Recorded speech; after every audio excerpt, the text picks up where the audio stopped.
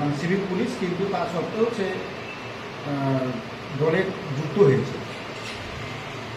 কি বলবেন আসিফ তার ছাত্র জীবন থেকে তৃণমূল ছাত্র পরিষদের হাত ধরে রাজনীতি তার প্রবেশ। তারপরে সে তার কর্মজীবনে সিভিক ভলেন্টিয়ার কাজের সঙ্গে যুক্ত হয়। সিভিক ভলেন্টিয়ার এমন একটা কাজ যেটা কিন্তু voluntary work no work no pay এই স্ট্যান্ডের উপরে কিন্তু এটা দাঁড়িয়ে আছে। তারপরেও আসিফ গত দুই থেকে তিন বছর, যেহেতু নো ওয়ার্ক নো পে তাই সে যখন কাজ করেছে তখন বেতন পেয়েছে। যত দিন সে সার্ভিস দিয়েছে, তত দিনের স্যালারি সে পেয়েছে। তো বিক্ষিপ্তভাবে এবং ব- বিচ্ছিন্নভাবে গত তিন মাস হচ্ছে বছর ধরে সে কাজ করছিল, গত বাইশ তারিখ, বাইশ সাত দু সে কিন্তু একেবারে পাকাপাকি ভাবে এই সিভিক ভলেন্টিয়ার এই কাজ থেকে সে কিন্তু অব্যাহতি পেয়েছে। অর্থাৎ সে আর এই কাজের সঙ্গে যুক্ত নয়, এটা ইতিমধ্যে সে লিখিতভাবে বা প্রশাসনিকভাবে যেখানে জানানো জানিয়ে দিয়েছে।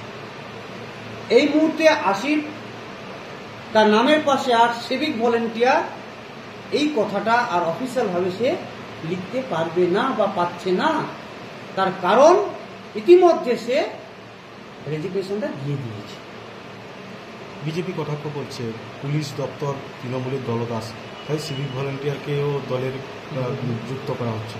বিজেপি তো এই মুহূর্তে নন্দীগ্রামে কোনো রাজনৈতিক ইস্যু পাচ্ছে না।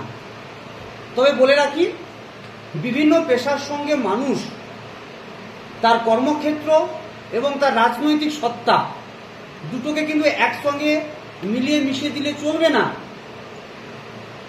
ফলে এখানে আসিফ তার রাজনৈতিক সত্তা নিয়ে তৃণমূল ছাত্র পরিষদে নন্দীগ্রাম এক নম্বর ব্লকের যুগ্ম কনভেনারের একজন কনভেনার হিসাবে সে অবশ্যই সাংগঠনিক কাজকর্মগুলো করছে।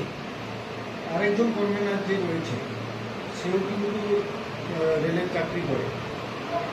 সেটা কি সেও তো তৃণমূল কনভেনার হ্যাঁ শেখ মোশারফ হোসেন সে তো রেলওয়ে দপ্তরে কর্মরত তার সঙ্গে আমরা দলগতভাবে কথা আছে?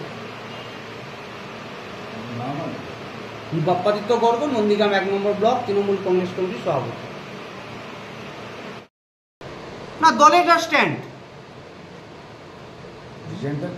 না এটা দলের মানে সিদ্ধান্ত। মানে দল সিদ্ধান্ত নিল যে ওকে রিজাইন দিতে হবে। হ্যাঁ।